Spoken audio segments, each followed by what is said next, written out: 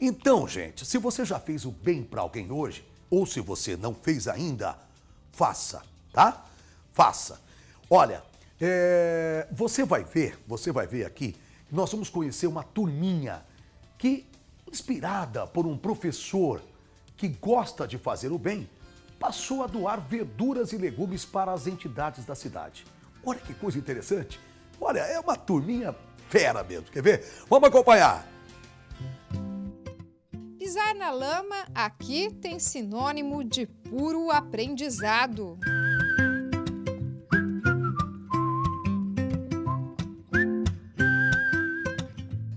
Grupo de alunos de General Salgado, que tem idade entre 14 e 17 anos, faz parte do projeto Jovem Agricultor do Futuro do Senar São Paulo.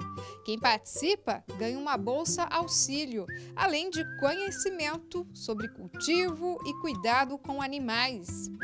É um programa do Senar, né, que é oferecido gratuito aos jovens, onde eles ficam com a gente aqui oito meses, mais ou menos 600 horas, onde eles têm uma formação na agricultura, né, ele mexe com algumas plantas, com os animais, e também tem outras matérias que são abordadas, como informática, ética, cidadania, outras matérias de interesse deles. Dentre os ensinamentos mais marcantes aqui do projeto está a solidariedade. Os alimentos cultivados pelos alunos são doados para as entidades do município. E sabe de onde vem toda essa inspiração para ajudar o próximo? Vem do Samuel, que também é instrutor técnico do projeto e incentiva a prática do bem sempre que possível. O Samuel está aqui no projeto há nove anos, né, Samuel? E me fala como que é ensinar para essa garotada também essa pegada da solidariedade. Para a gente é uma satisfação muito grande, né? De ver que eles se doam em si, quando a gente passa a mensagem para eles de ajudar o próximo e tudo mais. Tudo bem que eles têm uma cartilha onde eles têm que seguir mas eles fazem isso com naturalidade, ou seja, eles trazem também pessoas que precisam de doação.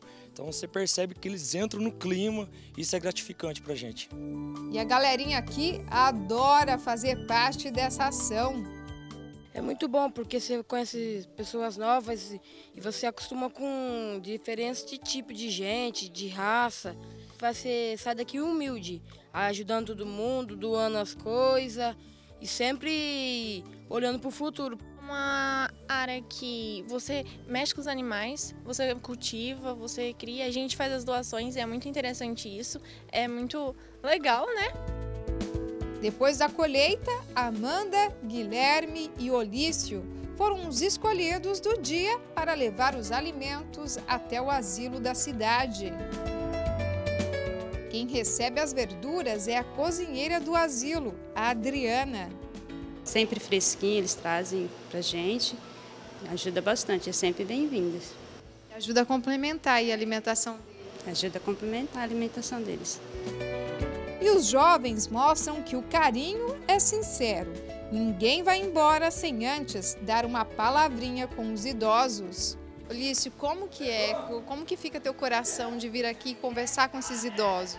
É muito comovente, mas mesmo assim é muito satisfatório. Ver a alegria dele no rosto para mim não tem não tem como explicar.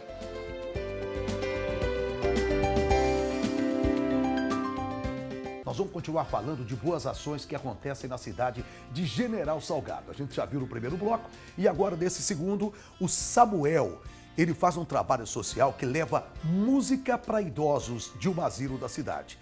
E olha que lá não falta diversão quando ele está por perto, sabia? Vamos conferir, vamos lá. Viveram pelo desprezo, Hoje é dia de música no Asilo Maria Donizete Zocal, em General Salgado. Eu nasci pra te amar, moreninha linda do meu bem querer, é triste a saudade longe de você pouquinho de alegria, atenção e amor. Aqui no asilo, o Samuel faz a festa com os idosos e mostra que para ser solidário não é preciso muito, apenas a vontade de fazer o bem. Abre a porta, janela, venha. Samuel, me fala um pouquinho dessa iniciativa. É, essa vontade sua de, de ajudar, de fazer o bem, começou quando? Isso aí foi uma coisa que partiu naturalmente, né? Desde a minha infância, entendeu? É, eu sempre tive essa, essa vontade de ajudar. Então, é nada melhor que um lugar como esse, né? Com pessoas com essa sabedoria. Então, isso aí para a nossa vida é uma coisa maravilhosa.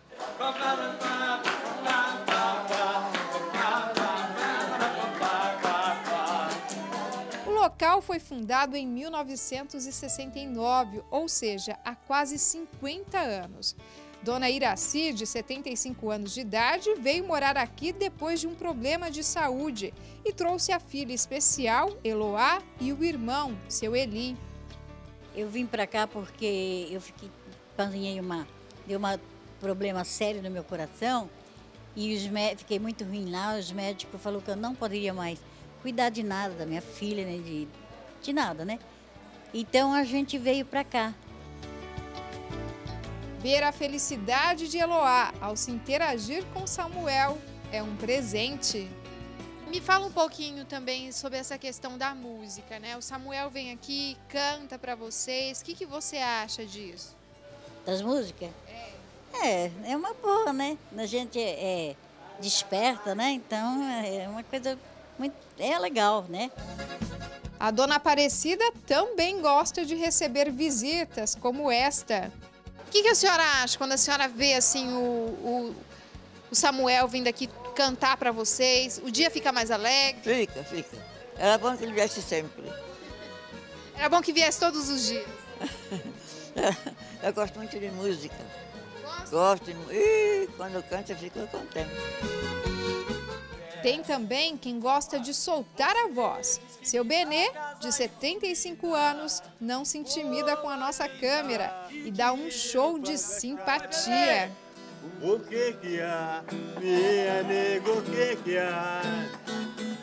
O Samuel, ele canta bem? Canta, é, é, ele engana bem. Engana bem? Engana bem, é. E quem que canta melhor, o senhor ou ele? É, eu gosto dele.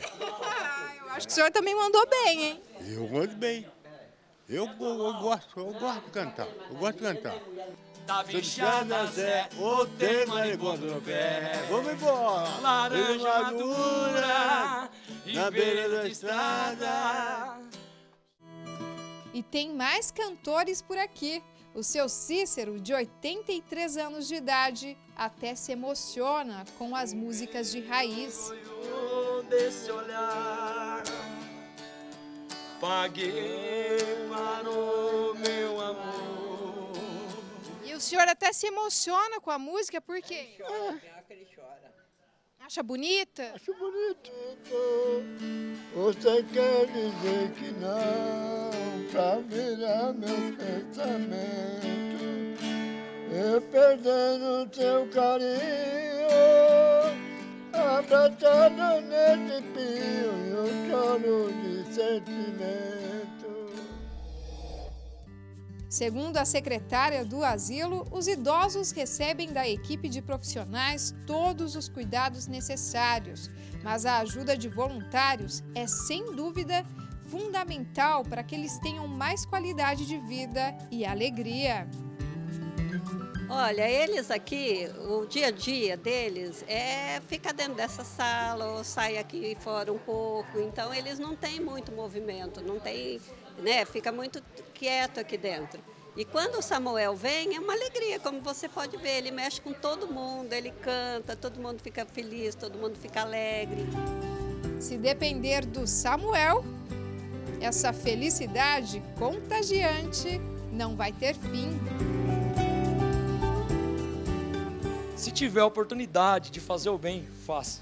Entendeu? Não faça para aparecer, não faça para se beneficiar, mas sim faça de coração. Essa é a melhor maravilha do mundo.